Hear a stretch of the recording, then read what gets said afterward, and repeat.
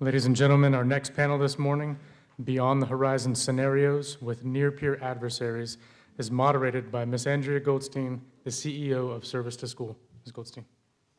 Good morning. Thank you, everyone, for being here today. I hope you enjoyed some coffee at the break.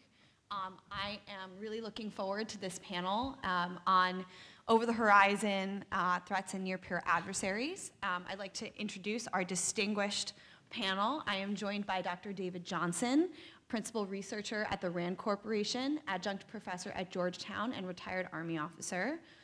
Mr. Isaac Stone Fish, journalist and senior fellow at the Asia Society Center on U.S. China Relations. Mr. Michael Kofman, director of the Russia Studies program at CNA, fellow at the Kennan Institute. And at CNA, Mr. Kofman specializes in the Russian armed forces and security issues in the former Soviet Union. And finally, last but not least, Dr. Antulio Echevarria from the U.S. Army War College. He is the editor of Parameters and author of several books and currently working on a new one. So some background on this panel. Um, each panelist will speak for eight minutes. Um, and then we will open it up. Uh, I'll start with some questions and we'll open it up to questions. Cadets, we haven't seen any questions from you so far, so we would love if you could think about um, what you'd like to ask this panel. Um, and also, as you think about your questions, please make sure it's a question. I came in here last night. If you ask a question that's actually not a, a comment, a trapdoor will open and you will be swallowed whole. Um, so the previous four panels examined various potential disruptors to America's military dominance. And so this panel is meant to be more forward looking, provide a no kidding, over the horizon perspective on American warfare um, uh, to come, and uh, the best net assessment of what great power conflict might look like in the 21st century. And so, because you're here to hear these gentlemen speak, Dr. Johnson, I cede the floor to you. Okay, well, thanks for having me. It's a great pleasure, one, to be on a panel with a bunch of friends whose work I really respect. I want to build on some of the things Eric Wesley talked about because I think it's why the Army Futures Command is so important to our Army at this point. Uh, the theme of my talk is going to be, it's going to be how we look forward to peer competition and how badly we've done it in the past. Uh, so the theme of my talk today is caught in the middle between Luddites, luminaries, and the occasional loony. Um, I want to talk briefly about the challenges uh, that getting ready, ready for the next big thing has been for the Army since World War I, and their implications for how we're going to get ready for the future. I believe the Army, contrary to how it talks about itself, has always been a concepts-based organization, not a doctrine-based institution. Um, there's been one exception, which I'll talk to later. Unfortunately, its doctrinal solutions involve in war after the failure of its concepts in its first battle, which the Army has historically lost uh, from Long Island in the Revolution, uh, First Bull Run, Bataan, Buna, Kasserine Pass, Task Force Smith, LZ Albany, and the aftermath of OIF 1 when we transitioned from what we thought was a victory in a long-term insurgency. I believe the reason the Army fails in its first battles is because its concepts are initially, until tested in combat, a statement of how the Army wants to fight, and rarely an analytical assessment of how it will have to fight.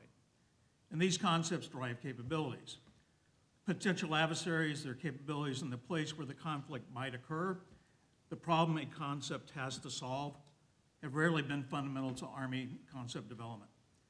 The agenda for our conference notes that we are at an inflection point of history akin to the one that followed the First World War.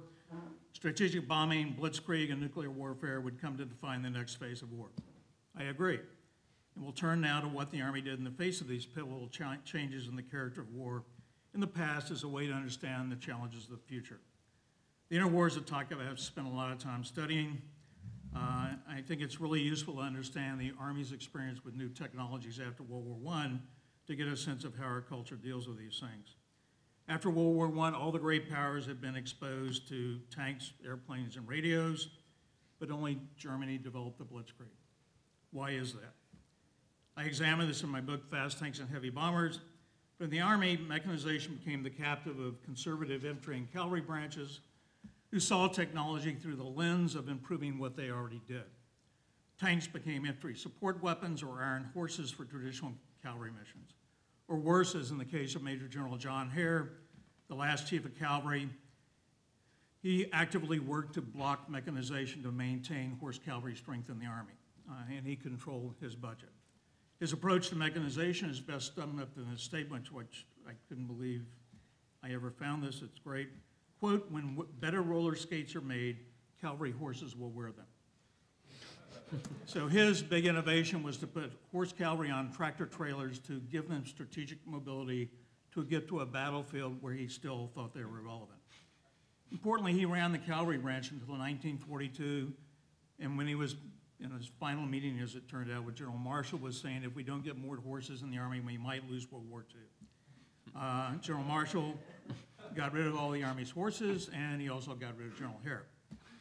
Uh, So in 1940, the cavalry, uh, the armored forces formed over the objections of the infantry and the cavalry after the fall of Poland and France.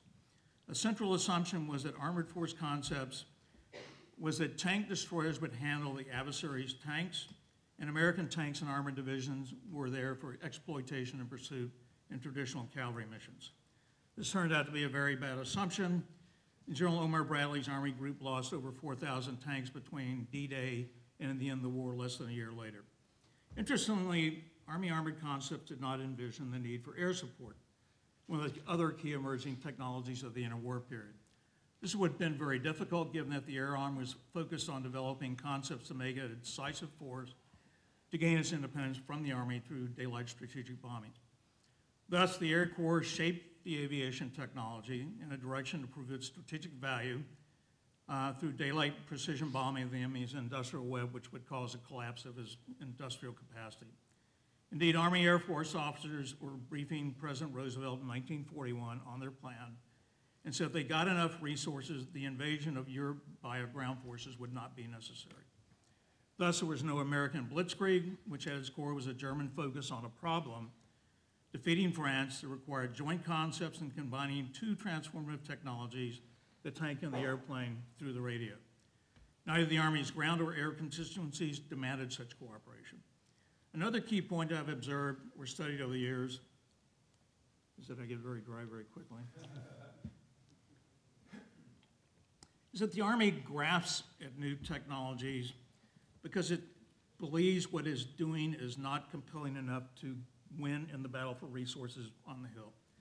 In this regard, the Army's approach to modernization response to the Eisenhower New Look that cut conventional forces and relied on the doctrine of massive nuclear retaliation is an interesting case study.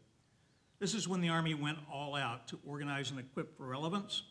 The days of the Pentomic Division and the proliferation of nuclear weapons from the small Davy Crockett launcher that you couldn't shoot it far enough not to kill yourself, to nuclear howitzers and air defense systems like the Nike Hercules.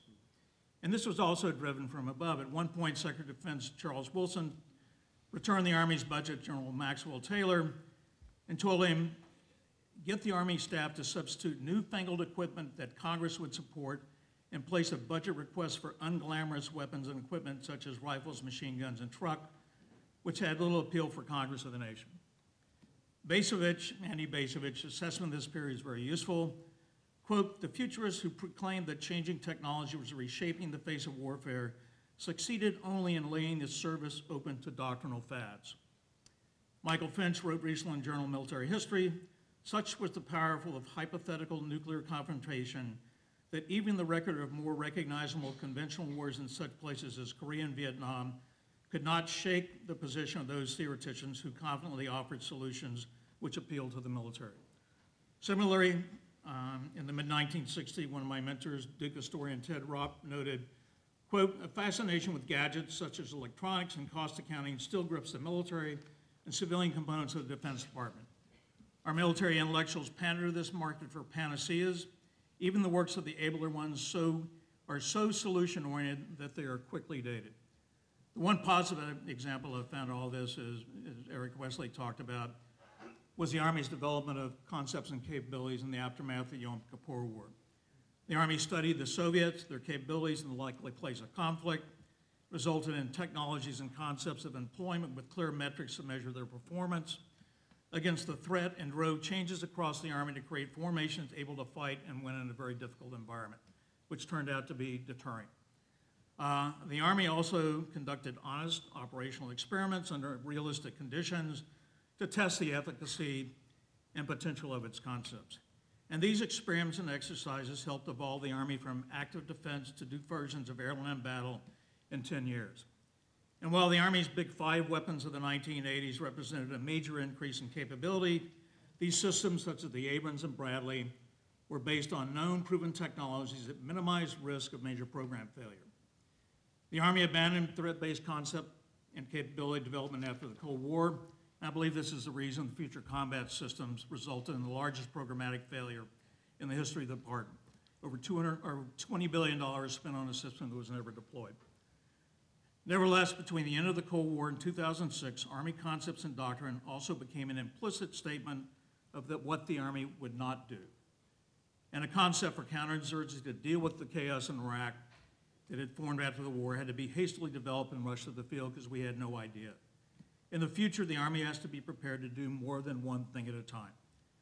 Um, conclusion, I'd offer a couple of final observations. Much of the talk about the future in technology is reminiscent of that in the interwar nuclear hours and should raise important questions as the Army goes forward. Are new technologies really going to change everything, like the advocates of strategic bombing and nuclear weapons argued? Or, as U.S. ground force leaders argued, are they going to just improve what we already do? Turns out both camps are incorrect uh, before World War II, and the Army missed the opportunity to combine available new technologies like the Germans did with the Blitzkrieg. I think the principal lesson in all this is the Army must have a clear problem that it is trying to solve to remain, to, to able to innovate. And I would caution that innovation is generally not invention. These, there are important lessons from this period uh, in the 70s. I think one of the most important is it resulted in the close cooperation of two services who wouldn't even talk to each other in the interwar period. The Army and the Air Force, because there was a problem in Europe that they could not solve independently, had to co cooperate, thus air-land battle. I also believe the new national defense strategy provides the Army with the potential adversaries and places that we might fight and should be the drivers for innovation. And we generally know what our adversaries are going to do to 2025. They actually publish it. And you can find things at places like NGIC that are in great detail about things they don't publish. And while the Russians and the Chinese are pursuing cyber, space, and AI, they're also making significant investments in modernizing their conventional and nuclear capabilities. Thus, I believe we have all the information we need for threat-based analysis to guide concept and capability development to ensure we're prepared to fight the next battle and win. Thank you. I look forward to your comments. Thank you. And I'm supposed to remind everyone this conversation is on the record, so please feel free to tweet away. Um, Mr. Stone Fish? Thank you. So, who here is familiar with the gay dating and hookup app Grindr? Just by show of hands. Who's heard of that? Okay, so Grindr, you may be wondering why I'm talking about Grindr in a session about the future of warfare. Uh, Grindr is a Chinese company. About a year ago, it was purchased by a Chinese billionaire, Zhou Yahui. Chinese Tibetan runs a very successful gaming company called Beijing Kunlun Technology Media. We don't really have any evidence that he has specifically close links to the Communist Party. However, now all of the data that is on Grindr belongs in the hands of a Chinese billionaire whose fortune, whose life, whose freedom is directly at the hands of the Communist Party. So Zhou might not have any designs when he purchased Grindr to use it as any sort of exploitable tech weapon, but Beijing is certainly aware that this exists, and if someone asks Zhou, or if PLA officers are using this technology without his awareness, well, there's a lot of really fun things they could do with that. So I'm talking about today is political warfare, the idea of really fighting without weapons. I'm going to bastardize Tzu a little bit here, but uh, the highest, I think he said the highest type of warfare is defeating your enemy's plans, sapping the will to fight. So it's not really hard to imagine that if things get worse between Beijing and DC, Beijing using its advances in AI and data recognition to process a lot of data from Grindr to find targets in the military, in the government, who seem like they'd be susceptible to either blackmail or persuasion, and then just putting people in the right place at the right time So a lot of what China does now with honeypotting is, is sort of less, feels less regimented than what the Russians do. Um, so this is on the record, I'm gonna be a little vague here, but uh, I had the pleasure of meeting one of these uh, honeypots a few years ago because uh, she knew a contact of mine, and a lot of it is somewhat adventurism. And I, I think a lot of it that we can imagine Beijing doing with something like Grindr is less a very specific plan, but more putting someone, you know, putting an attractive young gentleman in the right place with a certain closeted official in the military, in the government, and seeing what happens. So what I want to talk about are ways that Beijing can fight without weapons, and then what we can do about it. So Grindr is one. I'm going to talk a little bit about the OPM hack as well.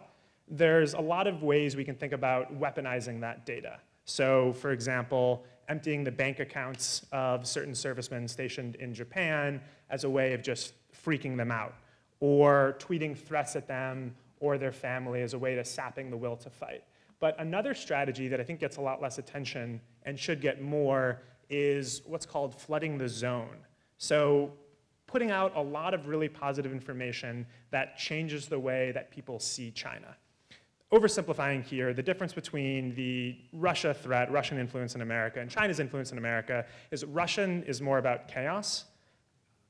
China is more about China. China is about how Americans see China how Chinese Americans, how Chinese in America see China, and what's written in Chinese about China. Beijing's goal, uh, if we really boil it down, is for the party to stay in power. And everything that they do to a certain degree is trying to help the party stay in power. So with flooding the zone, what Beijing could do is it could target influential people who have had their data compromised by the OPM hack and just make sure, you know, target ads to them that talk about how wonderful China is. And everyone has seen these ads, and everyone has seen, you know, has read China Daily, and, you know, most people who read it and see it think, oh God, this is bullshit propaganda. I'm too smart for this. I don't need to worry about this. Um, there are certain phrases that Chinese officials, Chinese military, Chinese interlocutors will say that if you say it enough, it sticks in your head and it's translated into the American discourse about China. So I'll give an example. The phrase, the party has lifted hundreds of millions of people out of poverty, is a phrase that you often hear Americans and Chinese say when you're talking about the positives of the Communist Party. Is this phrase true? Well, sure, yes. It's certainly a way of thinking about what the party did. But it's a party planted phrase that changes our narrative about the party and makes us speak in the ways that they want us to speak. So it's easy to imagine other targeted phrases being entered into the mind, entered into the discourse, that changes the way we see the threat of China. So China's two goals in political warfare. Um, one is either to convince the US that it's not a threat, you don't have to worry about it. China is a developing country. I'm sure all of you have heard Chinese people say that. Oh yeah, the US is the largest developed country. China is the largest developing country. You know, we've lifted hundreds of millions of people out of poverty, but we have still so many domestic challenges that we have to handle. Sure, true, that's fine that doesn't mean that we can't think smartly and critically about the threat that China poses. The other side of that, and which is starting to become more of the discourse, is it's inevitable that China will dominate Asia. This is how things are going to be. There's nothing you can do about it. Don't worry about it. It's going to happen. So this is another idea that we could start seeing entered more into the bloodstream via targeted messaging to people targeted by the OPM hack, to more money spent on CGTN, China Daily, other propaganda outlets, or just more conversations with people like us when we go and visit Beijing or when Chinese come here and they make these statements and they say them enough and people talk in enough of a concerted voice that we start to believe it. Uh, the other thing that they're pushing for is for Americans to lose the support of Taiwan. That's the other, that, that I would say is Beijing's paramount foreign policy goal. Uh, they don't call it a foreign policy goal because they think it's a domestic issue and they insist that it's a domestic issue. And this is sort of another way that we somehow get locked in their language. You know, if they keep saying it's a domestic issue, then we think, oh, right, this is something that they should settle. When you go to a Chinese airport, it's really funny. There's, there's domestic flights, then there's international Taiwan, Macau, Hong Kong flights. You know, but you had all this, this big issue with airlines saying that Taiwan was international. Well, Chinese airports call them international. It's that they were allowed themselves to get bullied, to get cowed into placing Taiwan in a different category that Beijing itself pushed. A third thing that Beijing could do is take the Singapore strategy with media and companies. So I think the last time this happened was about eight years ago, but the International Herald Tribune, which used to be independent from the New York Times, uh, had to publish a apology to the government of Singapore. So in the New York Times, you see them apologizing to the government of Singapore because someone alleged that uh, Lee Hsien Loong, the son of Lee Kuan Yew, got his position towards nepotism. Okay, he's the son of a leader, but you know, you're not allowed to say in a Singaporean context that that had anything to do with nepotism. So the New York Times, the best newspaper out there in my opinion, apologized to the government of Singapore for a very, very, you know, this is on the record, so you know, I don't want to get sued. They're very good courts, but a very, very reasonable thing. You know, you're allowed to make that allegation. You're allowed to assume that there's a relationship between the father and son of Singapore running the country and the second wife of the current prime minister of Singapore running Temasek, the sovereign wealth fund. But Singapore has excellent courts. Uh, they're very litigious. They have very strong libel laws. They sued. The Times apologized. They paid a settlement, and that was that. Beijing doesn't do that. Uh, it does not have the level of rule of law. It doesn't have the confidence. It doesn't have the desire. Hong Kong has an excellent legal system, and it's not hard to imagine at some point in the not too distant future, if Hong Kong becomes firmer under Beijing control, for Hong Kong judges to bring suits, or Hong Kong lawyers bring suits against American media publications for alleging that Xi Jinping is a dictator, or that Xi Jinping, you know, has untoward desires towards America or towards other countries in the region, or you know, really any of these red lines. And all it takes is one or two successful cases, and people are cowed. American media companies did not want to leave Singapore, very profitable places for them to be. It's a really good regional base. They don't want to leave Hong Kong either. I mean, Hong Kong is sort of the place that they can be to engage with China, to engage with other countries in the region. And you know, a few successful lawsuits will really change the way that they cover China. How much more time do I got? You have 20 seconds. 20 seconds, okay. Uh, in conclusion, what we do about this, uh, we can't out China China. We can't try to do that. We have to work on rectifying the names. I'll just leave with a very brief anecdote. Uh, South China Sea. In Chinese, no one calls it the South China Sea. They call it the South Sea. East China Sea. In Chinese, no one calls it the East China Sea. They call it the East Sea. So when we say, oh gosh, we worry about China's militarization in the South China Sea, well, of course, it's their sea. But if we say, we worry about China's militarization in the South Sea, it's a lot more open. Thank you. Thank you. Mr. Kofman. Thank you. Um, I'm going to talk about Russia, and since I'm not sure how much of this I'm be able to get through in time, I'm just going to give kind of what I think is the bottom line up front at the very beginning, which is, uh, at least in the last two days, this fascinating set of discussions, what I kind of heard would, I think would be met with considerable disagreement, at least in Moscow, and what a likely war would look like with the United States. And because there's a lot of sort of core assumptions that Russia not only had never agreed to, but um, in many ways, the United States never solved the fundamental problems of 20th century warfare, and, there's, and, and there's, there's a bit of amnesia going into the 21st century warfare, simply talking about certain things that don't exist. So I have good news and bad news. The good news is that I don't think there's any chance of a large-scale, prolonged industrial-scale conflict with Russia and the European continent. The bad news is because I think it'll be really fast and it'll be over pretty quickly in a matter of weeks. One side's way of war will prove decisive versus the other side's way of war. Certain people's assumptions will be proven right, other people's assumptions will be proven wrong. And if Russia is decidedly on the losing end of that conventional conflict, they will use nuclear weapons. And then things will go very badly from there. And that was always going to be the case. In fact, that was assumed to be the case um, pretty much since 1949. And it's really strange because whenever I hear about a prolonged land warfare, industrial war with Russia and Europe, it sounds like people are really missed out on technological developments between the years of 1945 and 2018. Right? So over the past 30 years, um, the emphasis of Russian military reform modernization has been one, to establish an effective conventional deterrent and counter to the US way of war, right, which is principally non-contact warfare with standoff weapons. Second, to then rebuild the conventional forces, destroy the Soviet mass mobilization army they inherited, and stand up a permanent standing military that is able to effectively impose Russian will on countries on Russia's borders, right? It's simply not possible to do that missile, missile defense, air defense, or air power. At the end of the day, you need ground force to do that. Third, to establish a fairly robust toolkit for indirect competition and direct warfare, which works very well with the conventional toolkits, it's understanding that most objectives of Russian foreign policy are on Russia's borders, not far away. Russia very rarely plays away games, and even when it does, in the case of Syria, it's an adjacent theater at best, right? So it's a strong integration between the curse of diplomacy and the fact you have when you have a sizable conventional military force and various forms of uh, indirect competition. And last but not least, invest in what are Russian strengths, which is nuclear modernization, nuclear weapons development, actually nuclear propulsion for weapons too, and really uh, build a much more usable toolkit of non-strategic nuclear weapons. Note I won't say tactical, and there's a distinction. Um, our terminology is not really at all the same with Russian, so if you think that from Russian perspective, things that are tactical are things that happen within the 100 kilometer range, and tactical operations like 100 uh, to 500, and then um, non-strategic is really things in the 500 to 2,500 kilometer range. There's a whole set, a really robust arsenal of weapons that are specifically designed for that operational non-strategic range. And they're quite credible on using them. How did this all begin? Well, um, most of the current military thinking of Russia dates back to the late 1970s, early 1980s period under Marshal Ogarkov, and it really um, is probably the, the intellectual father of the current reforms, where in early 1980s, uh, Soviet General Staff began noticing the United States was engaging in very weird behavior, which was the U.S. military was pursuing what uh, Soviet Union was calling an independent conventional war option.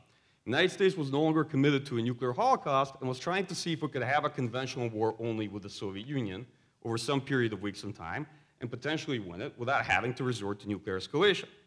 And so Soviet General Staff got very worried. They began thinking, so precision weapons, long-range conventional standoff munitions, would begin to have strategic effects. And they replaced tactical nuclear weapons from 50s, 60s, and 70s in terms of what they were meant for on the battlefield. And so Soviet General Staff began moving tactical nuclear weapons into the, into the role of intra-war deterrence, right, an escalation management role, believing that for some weeks it was possible to have a conventional-only war with the United States, and this is the direction where, where things were going in the 1980s. And the initial sort of Soviet debate on the utility of conventional cruise missiles in attacking command and control, destroying Russian nuclear infrastructure, taking out Russian nuclear forces, and disaggregating really begins around 1984, and from there on came a general conclusion that U.S. cruise missile arsenal and long-range standoff munitions de facto have strategic effect. That this is a strategic conventional arsenal, and it's able to rip apart other countries and affect regime change. Um, and of course, the logical assumption was that the purpose of U.S. force development was going to be surprise and preemption because, well, the general staff culture there has a very strong first strike bias, particularly ever since Operation Barbarossa, so it's quite conservative and fatalistic um, in that nature. And that's really, that's in part born of a country with no natural borders. Uh, whereas the United States policy community is endlessly optimistic, and that's what leads to repeated nation building campaigns in the Middle East. Um, you know, sort of like, we'll give it a go. Uh, and, and so we're talking about today what really bothers Russian general staff. What, what is actually the driver of all these military developments, right? I'm not here to talk about all the different toys and capabilities. One, there are no longer operational pauses in conflict. This is really annoying because Russian military excels at the operational level of war. We are tactically really good. If my grandfather was here, he'd say, we're amazing, but of course he'd also say, you know, Germany was also tactically really good, but I remember storming Berlin. So that's issue one. Issue two, Modern war features persistent effects to the depths of adversary lines. There's no spatial distance. Russia's fundamentally a Eurasian land army, and as an army, it is an artillery army with lots of tanks, and it always had been. I do get frequently annoyed. People recently have discovered, like Russia, Russian army, and then they have artillery. And I say, yeah, for 300 years, they've had a lot of artillery. They've also had lots of tanks. Starting from the interwar period, they had lots of tanks. In fact, that was Hitler's main complaint in Finland later on down the line, where he said he actually had no idea how many tanks the Soviet Union had when they invaded, and if he knew how many they had, he might have thought a bit differently about the course of the campaign. Um, so, from their perspective, right, their big issues, particularly today, due to cyber warfare, information warfare, and asymmetric means, these are non-kinetic means that basically affect the depth of a country's line. Hence my question some days back about to what extent is limited conventional war possible if at the outset of limited conventional war you have to target the homeland of the other state to gain key advantages in ISR, in information, in, in delaying them, in logistics, space, all these things you'd have to go after very early on at the beginning. So it really doesn't matter that the conflict's in the Baltics or anywhere else. There's no way to do it without direct homeland impact in the first day. And this creates certain fundamental challenges. Um, next, the general Russian conclusion, and I will disappoint my Army colleagues here, that the principal U.S. way of war, post-1980s, is airspace blitzkrieg and decapitating strikes. ripping apart integrated air defense from the adversary, then can opening the entire military, and after that, it doesn't matter. And this goes very, very quickly. Um, and, and therefore, made no sense to assume that ground warfare would at all be decisive versus the Western way of war, and, and that the United States had largely displaced most of its fire and strike systems into the airspace and maritime domain. So the Russian military really retooled its thinking and said, okay, 1980s, the, deci- the decisive force in conflict would be operational maneuver group, and it would be basically land force, mechanized force moving in first. And so it's actually the complete opposite sequencing today, right? Today, the airspace, the contest between uh, American air power and Russian air defense will prove decisive, and Russian land forces will be second, third mover, and honestly, if the air defense is gone, it won't matter because they're basically going to become the Iraqi army, only much better with more expensive gear at that stage, right? Um, and so uh, what, what kind of came out of that is that there's a strong desire to counter what Russia began seeing as um, sort of an American strategic triad that was non-nuclear. The first part of it was America's gigantic conventional cruise missile arsenal. The second part of it was American investment in missile defense.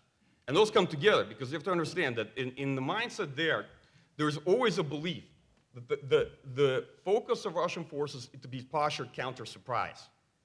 This is for very obvious reasons, if you ever lived in the Soviet Union in 1941, right?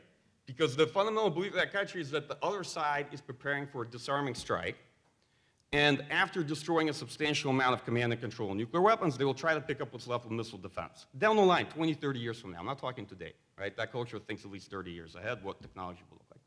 So this really led them to develop a conventional deterrent um, and find a way to, to de facto uh, focus on one, how do you blunt or survive sort of a Western aerospace attack? Um, how do you suppress it? How do you retaliate against it?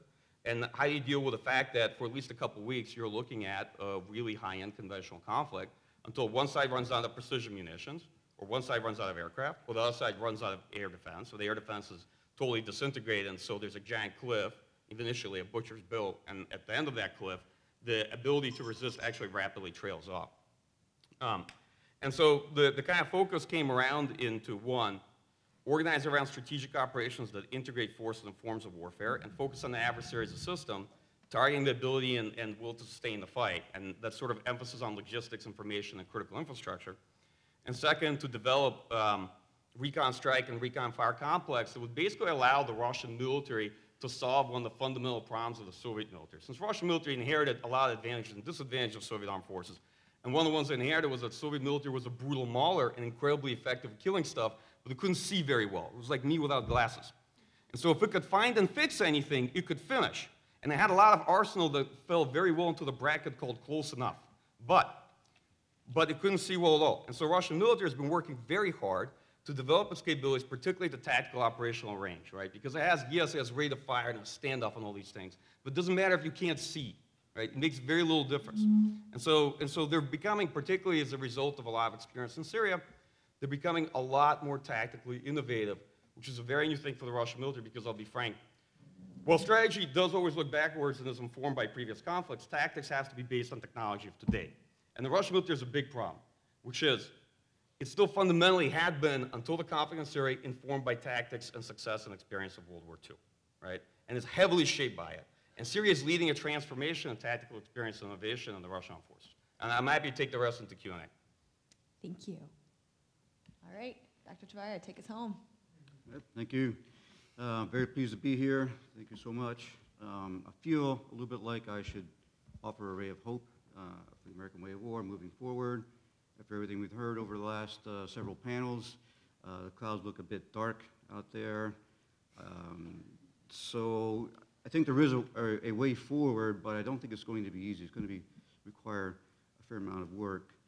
Uh, So first, let me explain what I mean by the American way of war. For me, it's simply the historical patterns of thought and of practice that Americans have used with respect to armed conflict. Can't know those patterns except historically, because they have to happen in order for you to, uh, to appreciate and to analyze them.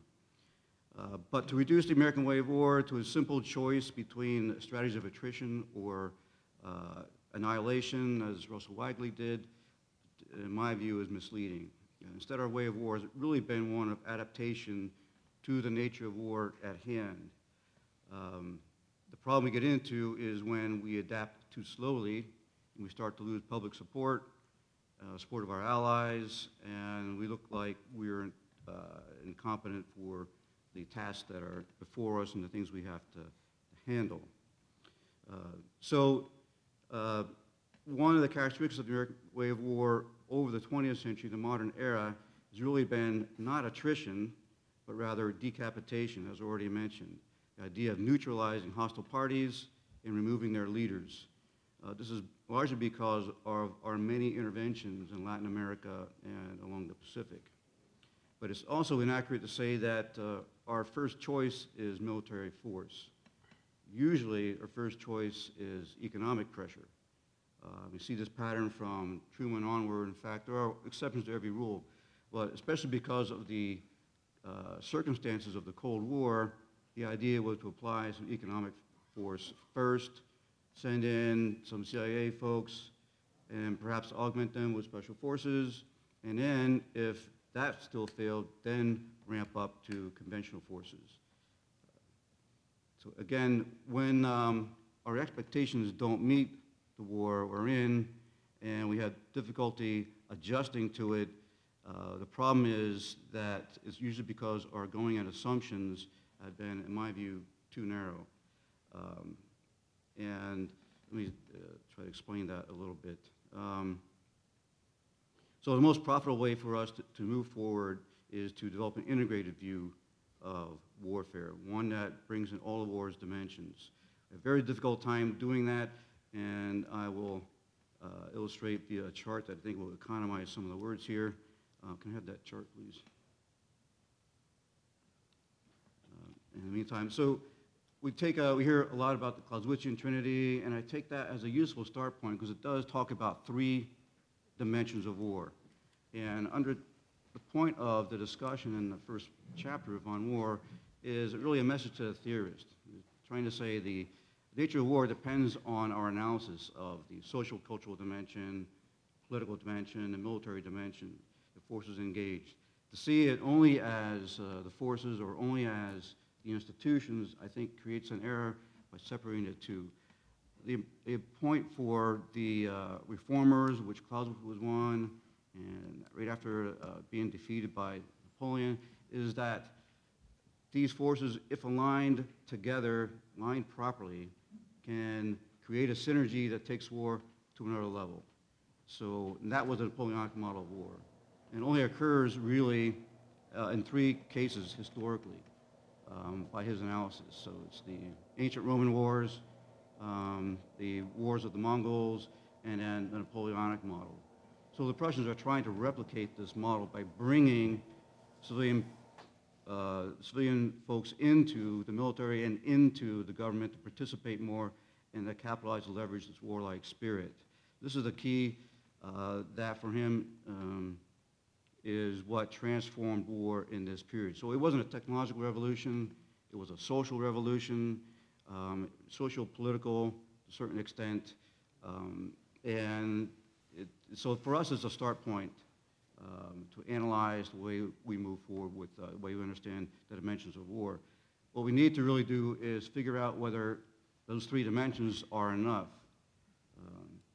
Michael Handel in the late 1970s and 1980s uh, argued that we ought to square the Trinity by adding a technological dimension. And and we can argue whether or not that's actually useful or not, but the, the threat of nuclear annihilation meant that technology now is much more important than it ever was in Clausewitz's day.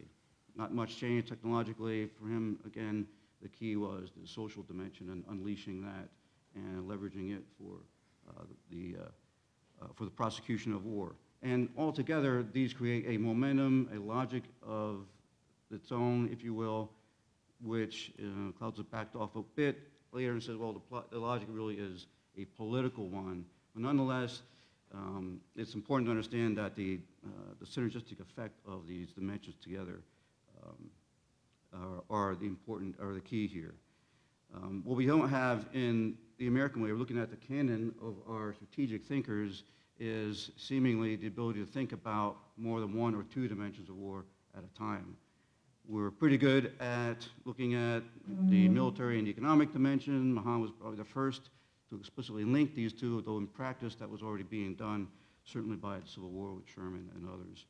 Um, But looking at Brodie, for instance, one of the leaders in, in limited war thinking of the time, um, he lives in the western side of Los Angeles at a time when the Watts riots are raging, 1965, middle of August. And more than 30 people were killed, $40 million or so of damage is done, many other people are, are injured, and none of this makes its way into any of his theories. Um, the, uh, the social dimension is overlooked, even though at this time in the United States is a social revolution of sorts underway. Uh, the Vietnam era, 1960s, very tumultuous. It really was a social revolution that perhaps didn't go um, all the way to fruition, but uh, it did, did change public attitudes, the willingness to participate in war, um, to volunteer, and to fight well once conscripted. By the 1970s, the U.S. military is struggling to, uh, has lots of internal problems related to its personnel, its morale, and all of this. So that's- part of it. But none of this makes it into any of his voluminous theories uh, and writings about war itself. And we seem to have this problem still throughout to the modern era, to the contemporary period. So what we need to do, um, rather than focusing on one or two, is attempt to identify which dimensions of war matter to us the most. We're going to add an economic dimension and a technological dimension. Uh, then we need to probably investigate and discuss those in more detail. And we need to decide, in terms of um, theory, how on earth we can pull these together into something that's coherent and reflects the, uh, those dimensions, the advantages and disadvantages of those, to what extent they're interrelated, and whether or not any synergies might be obtained through the combination of those dimensions in our way of war moving forward. Am I doing on time? Crushed it. A minute left. All right, so then basically I will uh, just wrap up by saying um, that I think there's some profit to going um, back to the theories of control advanced by Rosinski, uh, Henry Eccles, and Joseph Wylie, basically because it was an unfinished theory, but they tried to integrate, Rosinski calls this situation a strategic anarchy. You know, it's not chaos, but there are individual regimes of thought, individual schools of thought that are operating semi-independently, and there's no coherent way to bring it back. But I think control as an umbrella concept can help bring us back to that point where we've got um, some reasonable um, uh, control of the situation. So, thank you very much. Thank you. So I'll kick it off with Q&A, and then we'll open it up to the audience. Um, first, so I'm going to ask two questions. One I have to ask because it's come up the entire conference, and one is, are we at war? And then the second is, how do you consider major demographic and population shifts? And a big example is the results of China's one-child policy resulting in missing women and a surplus of men um, in line with a rapidly aging population. How will that impact the future of conflict? I'd say we are not at war, but the Chinese are. Well, I think the challenge when you say that word, it is a signifier for something that's not universally agreed on. So what do you mean by war? Uh, What do you mean by conflict? I mean, there's a, a great writer named um, Walter Allen, wrote about oral cultures and literate cultures. And he went and did research in the hinterlands of Russia where they'd never seen a car, and nobody ever read a book. He drove up in a bus and he said, you know, what's that? It was a house on wheels with couches. There's got to be a horse in there because it moves, because there's no signifier for bus. So what do we mean when we say war? And is it universally understood by the audiences we're trying to talk about?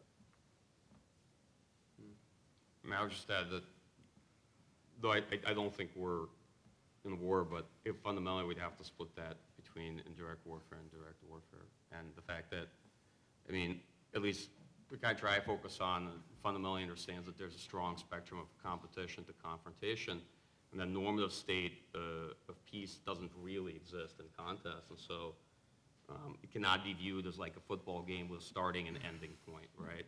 So war should, I, uh, and I, and I do often write this, I do dislike when people say, well, we are at war with Russia. No, we're not, because you have time to write op-eds in Washington Post about it. Like I said, if we were at war with Russia, it'd be over really fast. So we're not at war. That's the good news, right?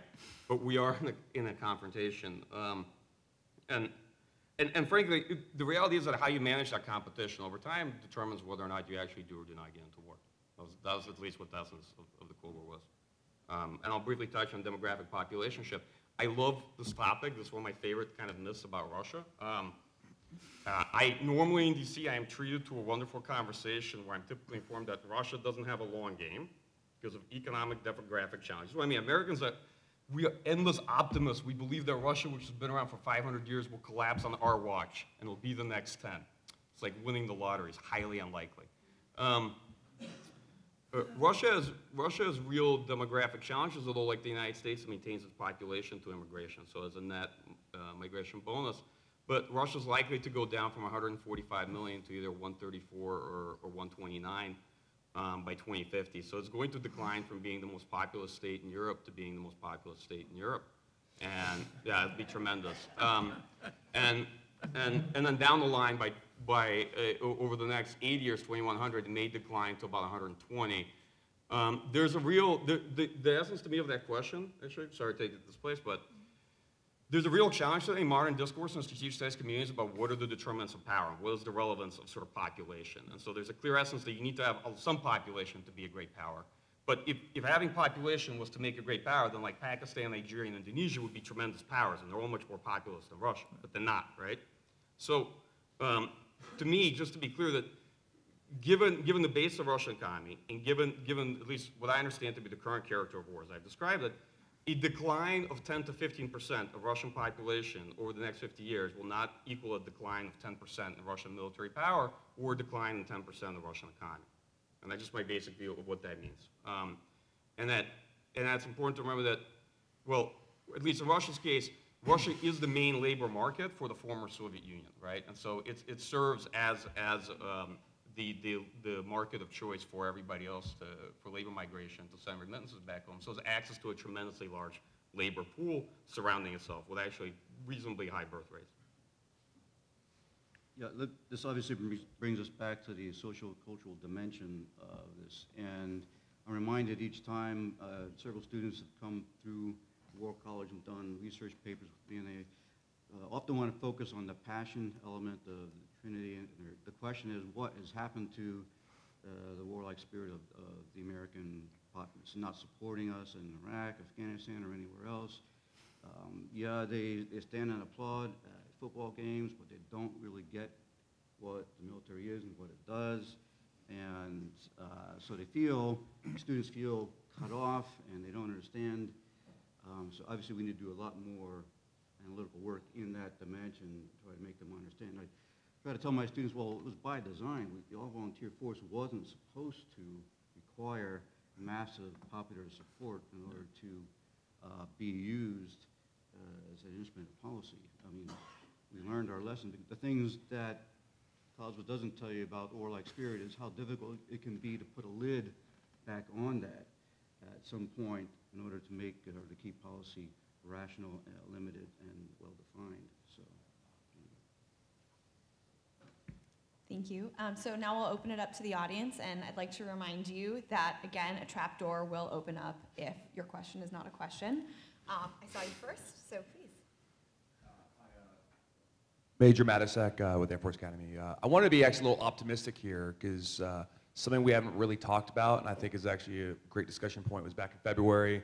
For those of you who don't remember, back in February, Russian troops on holiday with their local Syrian militias and troops uh, got into a little firefight with the Americans, and it didn't go well for them at all. And I just kind of wanted to kind of get your guys' sort of take on first why uh, this hasn't really been talked about much still. It seems to be sort of uh, keeping on the DL and sort of uh, what you think this are, is in terms of implications for kind of what you're going to see it play out there and also elsewhere. I'm, I'm happy to take that. Um, Yeah, well, it, it was immensely covered by our media at the time here. It was actually covered pretty well by Russian media and did not have much political effect in Russia because um, Wagner Group or PMCs, and they're there to be used in a traditional mercenary role, which is um, to be supported by Russian forces to take casualties and attrition out. And politically, they're highly expendable. There's no political cost to use them. Nobody cares about them in Russia. Uh, in terms of what it was, it's actually a really interesting encounter um, in, in indirect warfare between uh, uh, Russian state and ourselves, right? Because that, that could be viewed in one of two ways. One is just a very interesting test to see what our reaction was, remembering that due to nuclear weapons deterring at least conventional war and then giving us at least this limited, wonderful limited conventional war uh, option, uh, in which case whether you have 10 or 20% more population won't really make a lick of difference. Um, countries fundamentally are forced to compete, uh, at least peer nuclear states are forced to compete in indirect warfare. And that's actually, um, that was the, really the profound uh, impact of the Cold War on the international system. In fact, Cold War was quite ironic and then reshaped the landscape of most countries, particularly outside of Europe, that the two powers never fought. But they engaged in proxy wars, coups, political warfare, assassination, and various other forms of indirect competition across all the other continents. They sort of displaced it. And so if you, if, if- this is a bit, I like the structure answer. If you think of World War I as like a bar fight between a bunch of people, the Cold War is a fight where two people managed to hit everybody else in the bar except for themselves over the course of 40 years, right? Um, and, and yeah, like they just, it was a massive standoff. They got very large, and they literally hit everyone and everything they could find except for themselves, right? And the one of them collapsed from a heart attack. And, and, and no, but that's the reality of it. I hate to deny, I heard a great story in 1989 how the United States strangled the Soviet Union this morning. I lived in the Soviet Union in 1999. Don't remember it going that way, but, it's fine. Um, so the, the, the Wagner Group, we should look at as one, okay, it, it's, it is, it is a very good probing attack to see what the U.S. reaction would be. Two, it's important to also see the Russian state as fundamentally, in many ways, um, an adhocracy. And uh, there, there are many sort of uh, parallel authorities there and people with freedom of action to try and test interesting things, especially if there's possible or implausible deniability. And so, um, in many times, at least in the current competition, what we're seeing now is just a lot of uh, testing and experimenting with things, because at least in my mind, analogy is imperfect, but we're kind of very much, from the Russian perspective, very much back in 1960s. Those sorts of new and interesting stuff to do, to try, and you're not sure how it's going to go. And you're going to go get blowback from a lot of it, right? You don't know, you don't know what's going to be a successful form, of course, of diplomacy. You don't know if it's possible to do a fait accompli with a proxy force. You don't know how it's going to pan out, and you sort of, you sort of gauge the reaction. I hope that makes sense. Um, you know, so, so it didn't go well for them. But then again, when they killed all of our proxies in Syria, and, and it didn't go well for us. So I'm going to say that this is kind of typical American behavior. Uh, We say nothing about cruise missiles going out of the Caspian in Syria. We say nothing about Russian bombing. There's no response to it, but we kicked 100 mercenaries' asses. And that's completely irrelevant to the problem that Michael's talking about. Yeah. Hi, Al Maroney from the uh, Air War College. I have a question since a a couple of you talked about nuclear weapons. Uh, Given the possibility that our competition with the great powers and North Korea will involve nuclear warfare, do you believe the Army is adequately uh, prepared to talk, uh, develop concepts around uh, conflict in a nuclear environment? Should the Army be more involved in strategic deterrence discussions that currently the Air Force has dominated for the last 10 years or so? I'll take the Army piece of that. I mean, I grew up in an Army where every howitzer in the Army, except for 105s, had nuclear mission. Um, When you talk to, to, pe- people don't even know what PRP spells anymore, um, where we've lost, there's just no consciousness of that possibility. And what I thought was interesting with Michael's, uh, yesterday's intervention, is we just don't want to talk about that this is a plausible thing at the tactical and operational level against an adversary who thinks about these as weapons, not as weapons of strategic effect at certain levels. And we're unprepared. Um, I mean, we, we've just completely lost in the last 15 years any understanding of uh, not just chemical and nuclear, biological. I mean, I was in a unit giving a talk uh, that may have had to go to Syria, and that's all I can say. They didn't have chemical protective gear. They never practiced with it. They had masks, but, you know, their suits are Cold War suits, because we haven't thought about it. So this is, I think, we talk about the urban environment, we're gonna be in an environment that's dirty, uh, intentionally and unintentionally in some cases, and I think we've completely forgotten how to do it. The Army can't have a discussion yet about tactical use of these weapons, uh, and doesn't even understand the dimension of the strategic use, other than what you get in the War College about, you know, we have a nuclear threshold and it's a strategic problem. Uh, I'll, I'll- I'll come in, completely agree with Dave, I'll come in on the nuclear part of it. So it's, it's a real challenge for us because we're actually living through a, a real second period of nuclear modernization and qualitative change in nuclear weapons and the nuclear propulsion of weapons. Um, and, and at least the other powers are quite vested in it.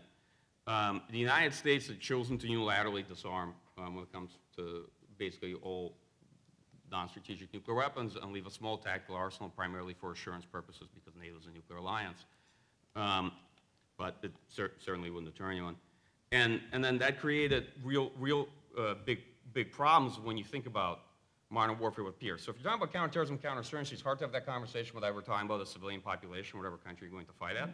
And if you're talking about peer conflict, and if you're not going to talk about nuclear weapons, you have a big problem. Because here's the thing, at least from my perspective.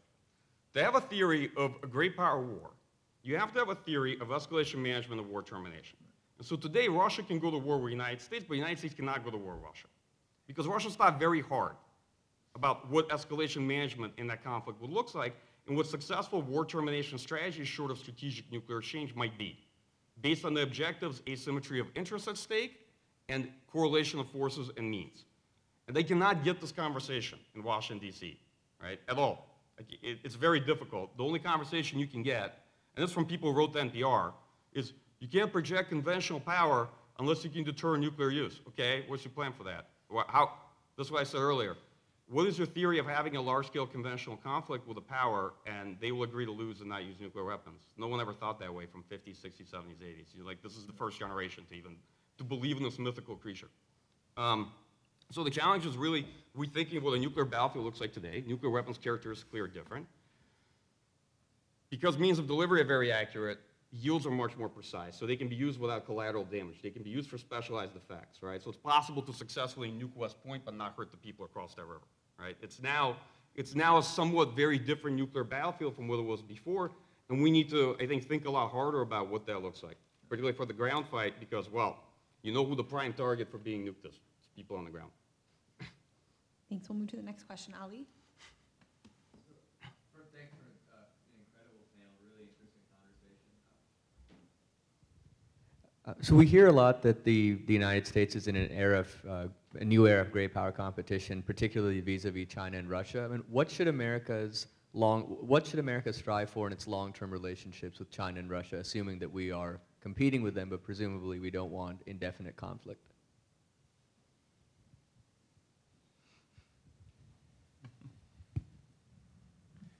This is a sort of a lazy thing to say, but I, I think it's the truest answer to that, which is uh, we really got to get our house in order. I mean, things are real fucked up right now, and you know, luckily for us, uh, things are real fucked up in China right now. I mean, I think one of the things that we miss when we're having this conversation is just how afraid everyone is of Xi Jinping and how careful people are to step out of the boundary and how much people talk about Belt and Road because their superiors told them to talk about Belt and Road and they think it's a safe thing to say.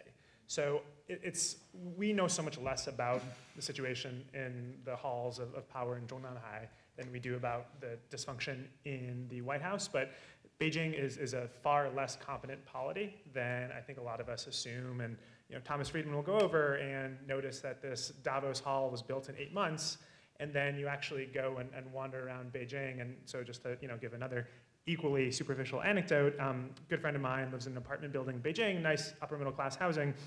And the elevator's floor has been broken for maybe 10 years. So it's sort of like a dirt floor in the elevator. When you push uh, 19, it stops at 18. And you know, there, there's so much that does not work in Beijing, and I think we need to recognize that when we're when we're thinking about these things. So I, I think we're back to the situation we were after World War II in some ways, where, well, actually, back to where we were in the 40s, where there are two peer competitors um, that are regionally stronger than we are in the regions. And how did you come to grips with that? Uh, I think we made some real missteps with the Japanese with oil unknowingly. But how do you manage what your place in the world is with your interests that are actually vital, not peripheral or important? And design a strategy that says, you know, where will I give and take? And, you know, how do I accommodate coexistence in a way that doesn't threaten those interests and values? Uh, and there will probably be confrontation because they conflict. Um, but understanding that, you know, the competition, the war, the conflict, whatever it is, we need a new vernacular to discuss the world we're actually in. Because we keep pulling back for these old analogies, and it's like the Kennedy administration was, was fundamentally shaped by Munich when it was discussing the Cuban Missile Crisis. Completely irrelevant. As it turned out, there were already 69 warheads on Cuba before we put the embargo in place. So how do you frame a new strategy with a new way of thinking about the challenge you have now, rather than trying to frame it in the challenges of the past? And that's most of the discourse we're having about Russia, and it transfers over to China because we have no other mental model about what strategy is. Right. Um, If I could add to this, I- think, of course, one of the fundamental challenges is understanding what is the competition actually over? What does Russia want, let's say, and, and what do we want? And a lot of times, I, it's frustrating because a lot, a lot of strategic thinking about the competition is very much like interwar first half of 20th century period. People think that's about land because land has people and resources and stuff on it, right? Because countries are like trying to get stronger for industrial scale warfare. That's not what the competition is about at all with Russia. And, and, and like, I don't necessarily think with China either, but, um, you know, I think for the United States, there's a couple of challenges. One, um, how to maintain position, U.S. position as a leader of the international order post-unipolarity when the balance, structural balance of power is obviously invisibly changed. It's already a lagging indicator. Two, um, how to successfully deter other great powers from encroaching allies. The United States is an insurance company. They gave out a million insurance policies to everybody during a period when it was like the only power in the international system. And now regional uh, balance of power has changed, both in Europe and the Asia Pacific region. The United States is sitting very eerily watching like this, saying, I hope none of these gets challenged or contested because there's going to be some pretty big credibility issues real fast. Three, there's a big problem in negotiating the current international order. The international order we're in is the post-Cold War one. That was underwritten by the only power that existed then.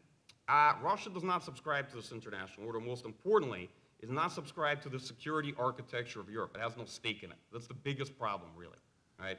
And it's very revisionist in that sense. Okay? So, and, and there are big normative differences in U.S. outlook on the international system, particularly with Moscow, that are fundamental differences of perspective. Like Russia has a very, very strong preference for a Yalta-style 1945 distribution of power that is an order where, where regional hegemons are responsible for security in the region and a concert of Europe type arbitration system. Is very, very, very much driven by status recognition.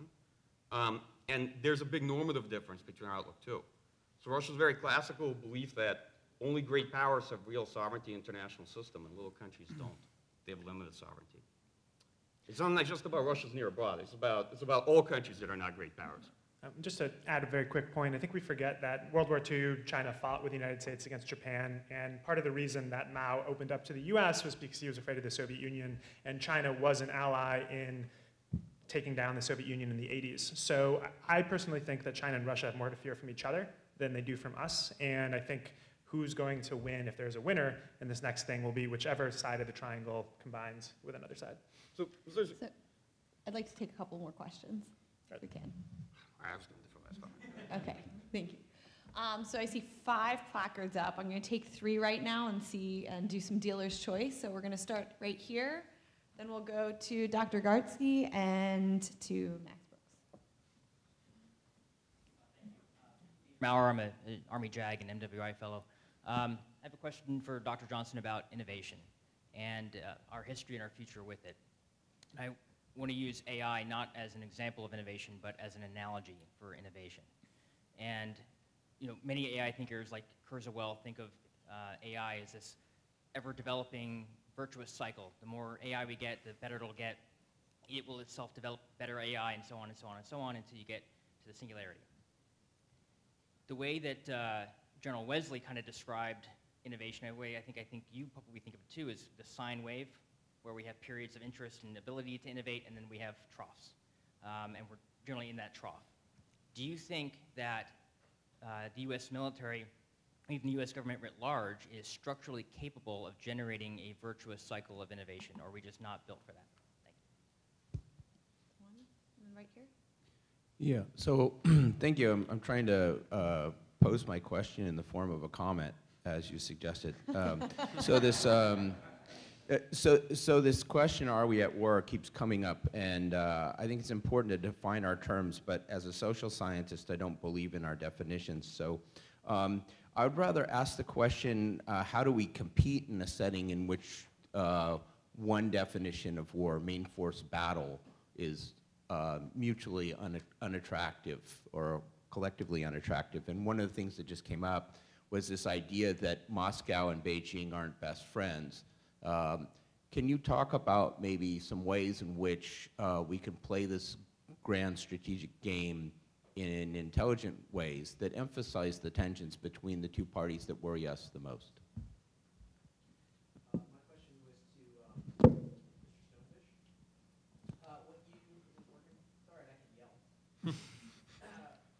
What you said about Grindr makes me think about Tinder, which also makes me super grateful that I'm married.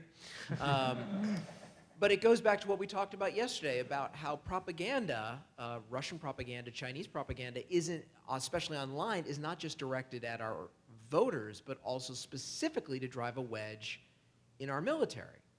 And so my question is, and this can be for the entire panel, is like any disease, what can we do to vaccinate and inoculate our soldiers from blackmail and from propaganda to maintain cohesion?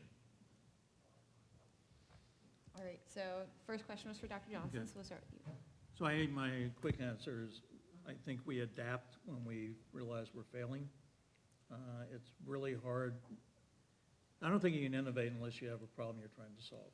Um, And we tend to, I mean, a lot of the conference this week was, this is going to change everything, or no, it's not, or, so it's just, uh, my wife was a China scholar for years, and she had a friend who once said, you know, the problem with Americans, you either underwhelm or overwhelm.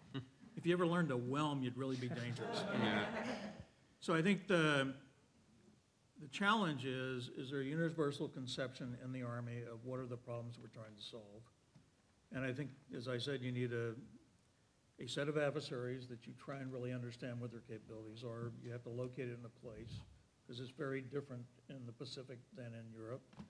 And you have to understand your adversary's capabilities and, and how do you, you know, think imaginatively when your concept of how do you take those things away from it. Uh, I, I think we're starting that, that's why I'm, I think Futures Command is so important.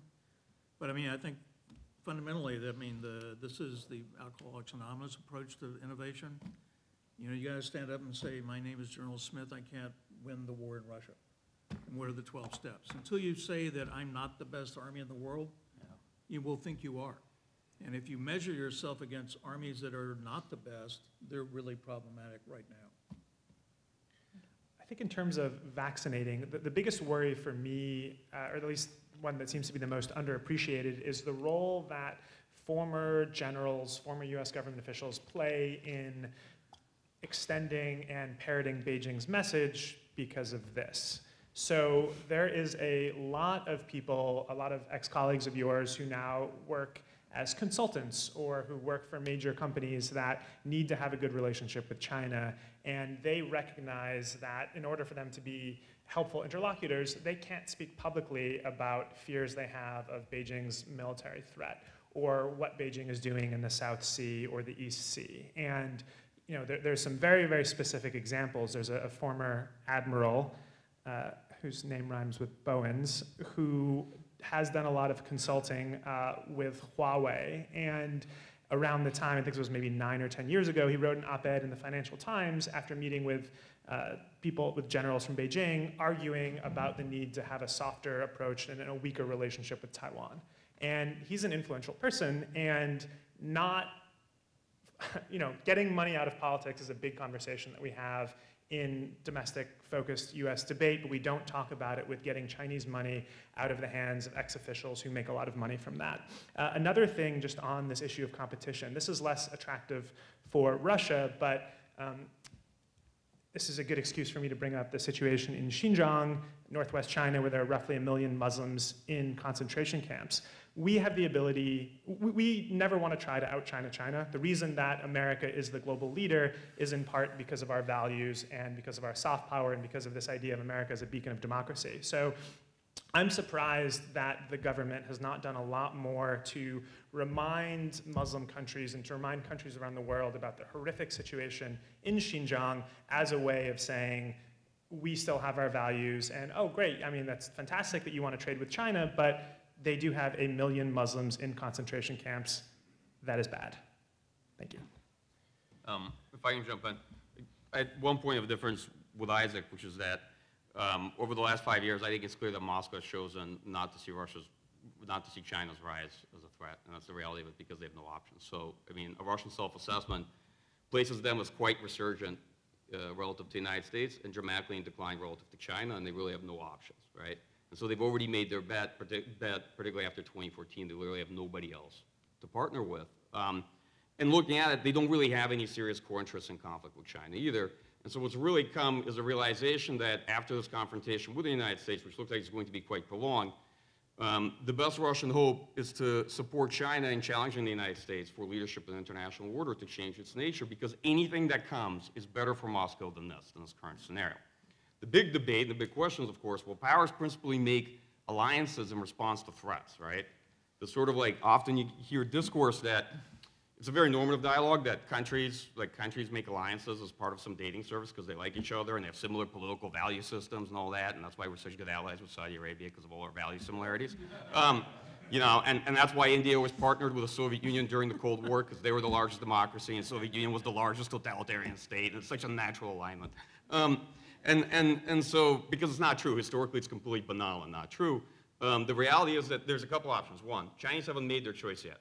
And so they're deciding to what extent is, is a real sh- sheer threat from the United States likely to, I think, push them into a, a balancing alliance. I don't know if that'll take place.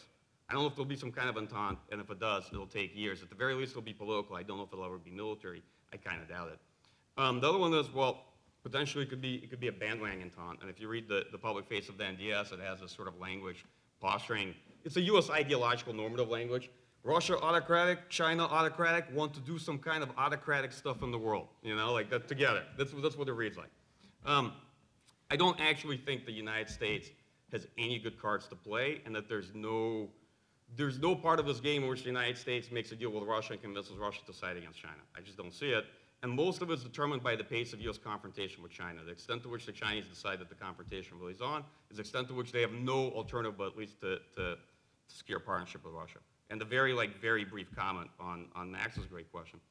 Um, I will simply help admire the problem and, and, and make it bigger to what you said, because I don't have a good answer to it.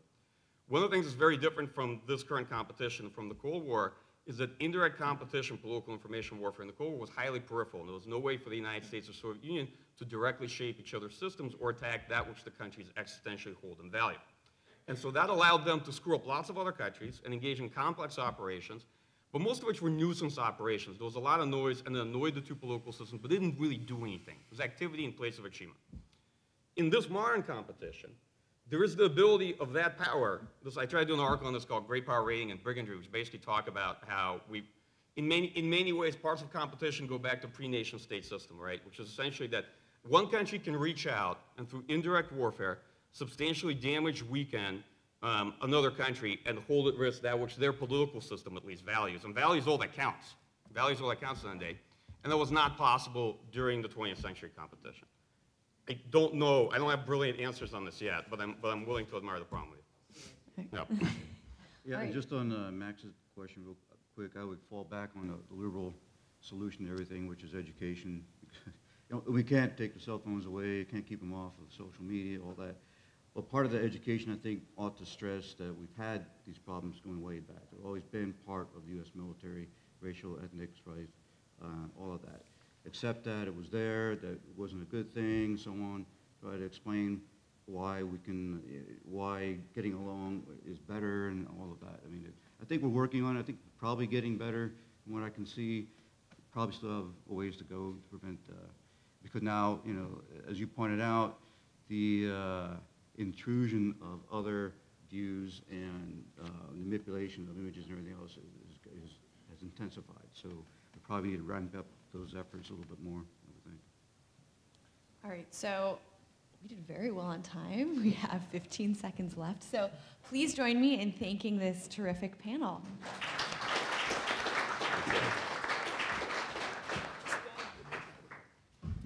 All right, ladies and gentlemen, we'll now take a 15-minute break before our final speaker for the day. We reconvene at 10:45.